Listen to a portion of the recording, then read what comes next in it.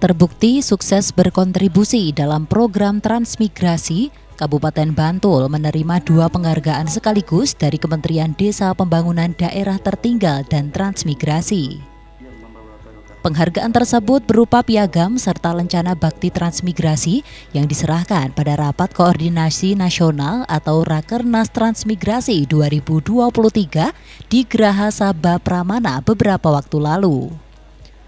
Hal ini menunjukkan bahwa selama ini Bantul konsisten mendorong keberhasilan program transmigrasi yang juga menjadi kunci pemerataan pembangunan di Indonesia.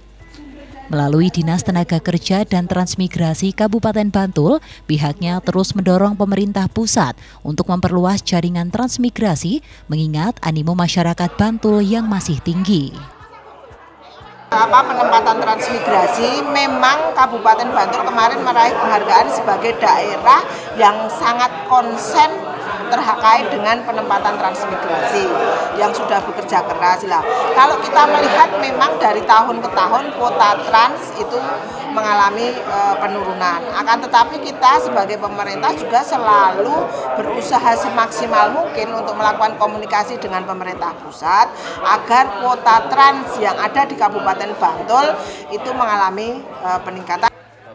Dengan adanya program transmigrasi, diklaim dapat meratakan pembangunan karena meningkatkan peluang kerja dan usaha sehingga akan meningkatkan kesejahteraan masyarakat. Selama ini, untuk beberapa daerah di Indonesia yang belum terjangkau dan tertinggal, kini tumbuh menjadi daerah yang maju berkat keberhasilan program transmigrasi. Dari Bantul, Daerah Istimewa Yogyakarta, Joko Pramono, Aditi V